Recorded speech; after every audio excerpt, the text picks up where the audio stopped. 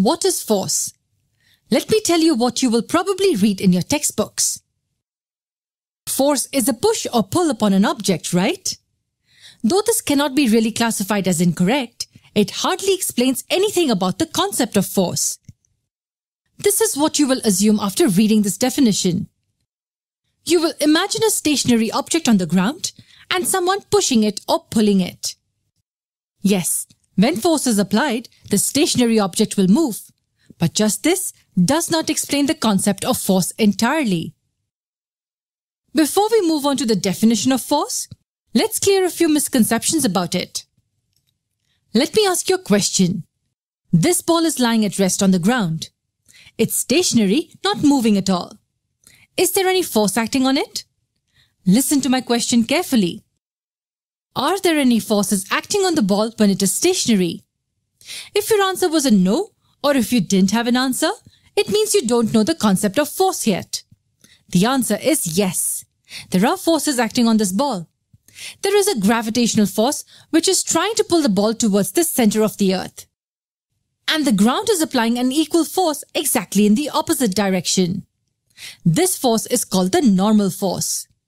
Because these two forces are balanced, they do not change the position of an object. The net force acting on the ball is zero. So what does this tell you? Just humans pushing or pulling is not the only kind of force. And just because there are forces acting on an object will not mean the object will move. For the object to move, there has to be some net force. So now let's say a person softly kicks the ball. What happens then? Yes, the position of the ball changes. Why did the position change? It's because there was another magnitude of force acting on it and this time the forces were not balanced. The ball moved and there was displacement. But hold on. Why did the ball stop moving after covering 15 meters? The ball started moving at a pace and then slowly came to a halt. If there's no force from the other side to stop it, how did it stop? Was there a force which stopped it? Yes, it was friction that stopped the ball. While the force you applied was towards the right, the force of friction was towards the left. Let's make it even more interesting. Assume your screen to be a frame of reference in this example. Also assume that this straight horizontal line is a frictionless flow and there's no air resistance. The ball appears from the left of your screen and moving towards the right at a uniform velocity of 2 meters per second. The only two forces acting on the ball are the gravitational and the normal forces which net each other out. In this setting, will the ball ever stop moving? No, it won't. It will continue to move along the same path at the same speed unless there is another external force which acts on it.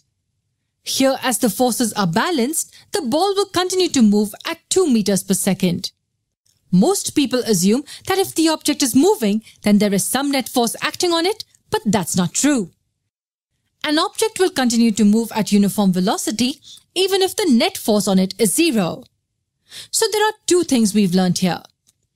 First, if the object is stationary and the net force acting on it is zero, then it will continue to remain at rest.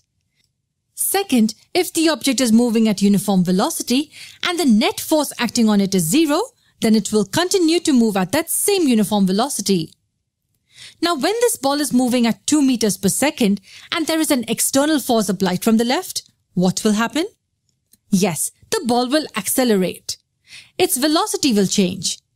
Let's say the velocity changes to 3 meters per second after this external force is applied. After that, the ball will continue to move at 3 meters per second unless acted upon by another external force. So nobody's really seen or touched force. It can only be understood by knowing what happens to an object when force is applied to it. If the body is stationary, do not assume that there is no force acting on it.